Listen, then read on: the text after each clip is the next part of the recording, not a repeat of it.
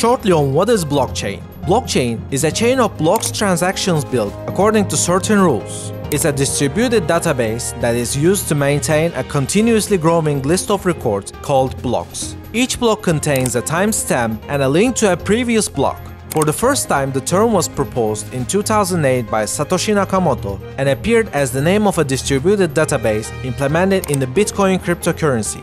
Currently, most people use banks or systems connected to them to make money transactions. But blockchain allows consumers and suppliers to connect directly, removing the need for a third party. The technology can work for almost every type of transactions involving value, including money, goods, and property. Blockchain potential is almost limitless. Art, elections, food supply, identification, and whatever you want.